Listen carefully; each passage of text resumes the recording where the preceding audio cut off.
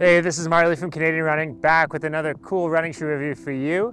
Today I'm introducing you to the new Puma Fast-R 2 Nitro Elite, the latest running shoe from the German athletic powerhouse Puma.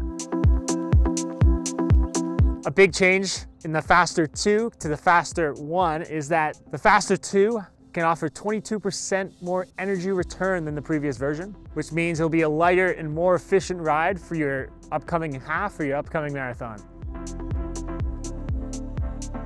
This shoe builds on the success of the original Puma Nitro Fast-R Elite and has a 40 millimeter stack height to give you that maximum cushioning and that maximum propulsion. One of the key features of the Fast-R 2 is the full length carbon plate that runs through the Nitro Elite midsole so no matter what your foot strike is, no matter where you land, you're gonna get that sort of forward propulsion movement.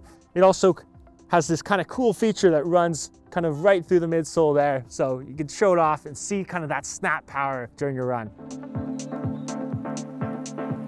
Another big change to the Fast-R 2 is that it's 20% lighter than the previous version, coming in at only 240 grams. The brand also says this shoe is, is one of the most durable racing shoes out there on the market meaning it can last probably up to 400 to 600 kilometers. The shoe is also equipped with a full-length rubberized outsole, so no matter what surface you're racing on, that this shoe will give you that sort of traction and propulsion that you're gonna need to crush your spring race.